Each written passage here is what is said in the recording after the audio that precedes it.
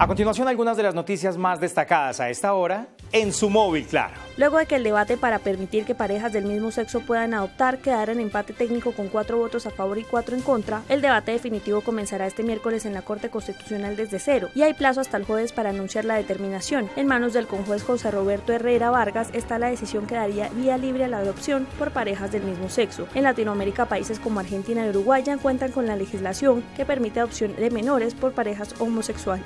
Ampliación de estas y otras noticias en www.cmi.com.co. Podcast.